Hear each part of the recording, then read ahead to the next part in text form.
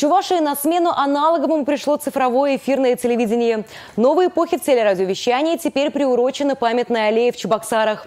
Новые деревья появились 25 апреля в парке Амазония, излюбленном месте отдыха жителей и гостей столицы. Парк имени 500-летия Чебоксар меняется на глазах. В последние годы здесь оборудовали пешеходные дорожки, установили скульптуры, высадили новые деревья и кустарники. Теперь здесь появилась еще одна аллея. Сегодня мы посадили 21 дерево, посвященное 21 каналу.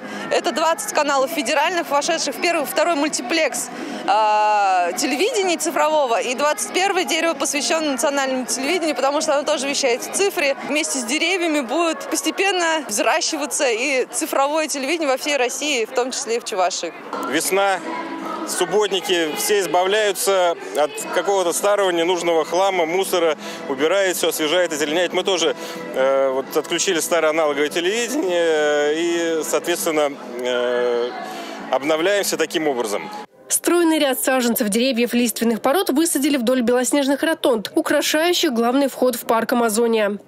Здесь по концепции, которая разработана для парка 500-летия, также предусмотрены многолетники, ну а из деревьев мы стараемся использовать, конечно, вечно зеленые, и туи, и ели, и делаем акцент. Ну вот здесь сейчас вот я березу посадила, да, потому что мне кажется, даже это чем-то и символично для меня.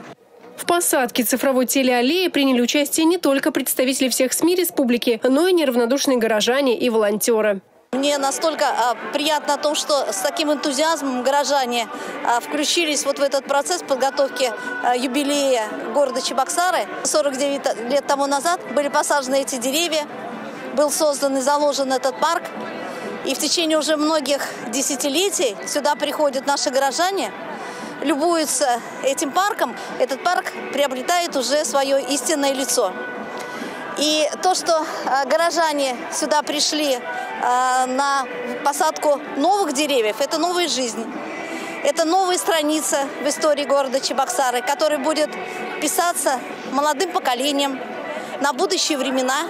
Галина Титарчук, Бахтияр Велиев, Республика.